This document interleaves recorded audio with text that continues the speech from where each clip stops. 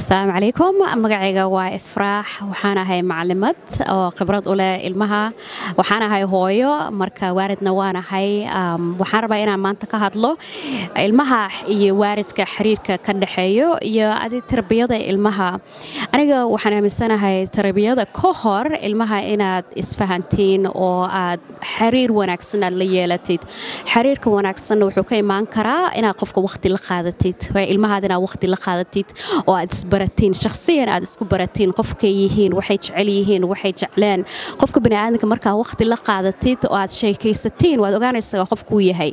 Markaas kabacdiba qofka markuu aad saas isku baratiin baa xiriirkiina isku dhowaanaysiin markaas waxaad u sheegtid qofka wuu kaa aqbali karaa.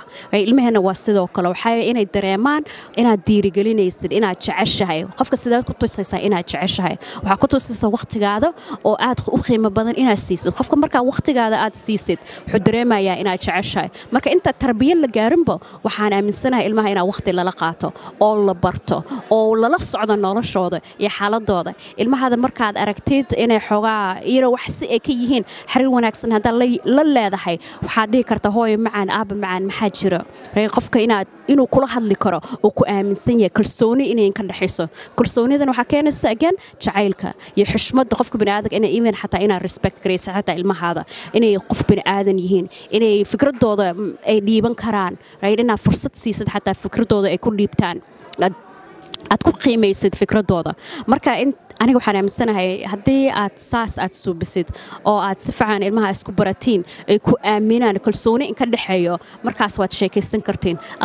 Noloshaada aad la wadaagi kartaa. Aniga wiilkayga runtaa u sheega markaan dhalinyarayn jiray markaan maxaa la yirahda waxyaala qaarkood aan soo maray waalidiinta qaarkood way ka xishoodaan inay ilmahooda u sheegaan. Laakiin ilmahada markuu ku arko qof bini sidiisoo kale mise sideedoo kale waxay dhihi karaan qofkan wax waan u sheegan karaa ima jaajgaraynayaan oo iguma qaylinayaan qof xun hadda iima malaynayaan haddaan wax u sheego waxa fikradeyda mise waxa igu dhacay waxaan aaminsanahay dadka baniaadanka waxyaalo badan baa soo maro qalado badan dadka way ka dhacaan laakiin markaan qof kale la wadaagi karno qaladaneenna aan la sheekaysan karno aan ognahay qofkaas naxariis iyo jacayl aan ka helayno markaas wax cashar waan ka qaadan karnaa qaladkeena laakiin qaladkeena cashar kama qaadan karno haddaan ognahay inay lagu qaylinayo oon aad maxaa la yirahda mise guriga nalaga erinaya mise xumaan badan ay noo imaanayso markaas lama wadaagi karno qofna qaladkeenna oo waaridkeenna. Marka inta tarbiyada la gaarin aniga waxaa aaminsanahay in ilmaha lala hadlo waqti lala qaato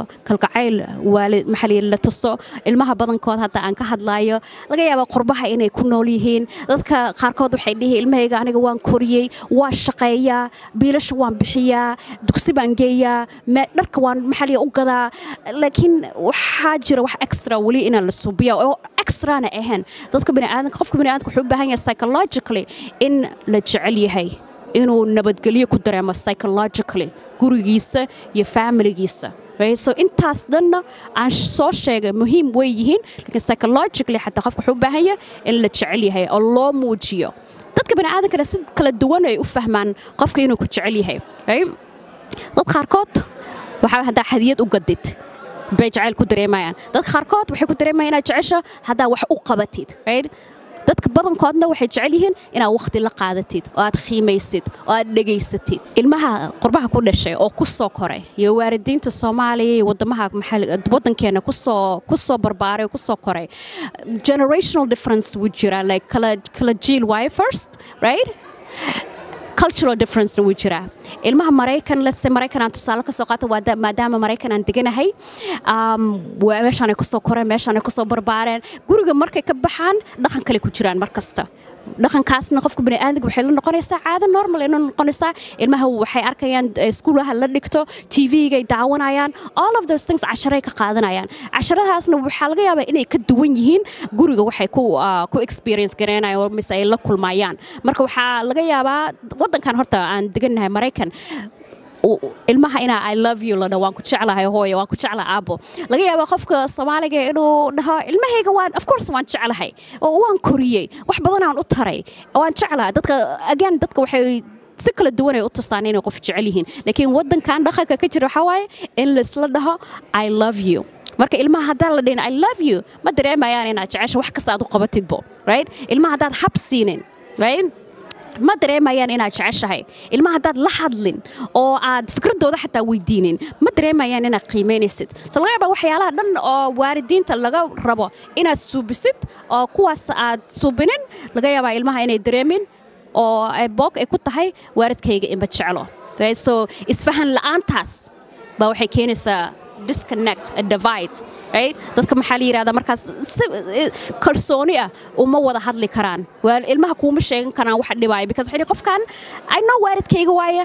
I think way i jecel yihiin but hab ima siiyaan I love you ima dhahaan. Maybe ima jeclo. Maybe ima jeclo right?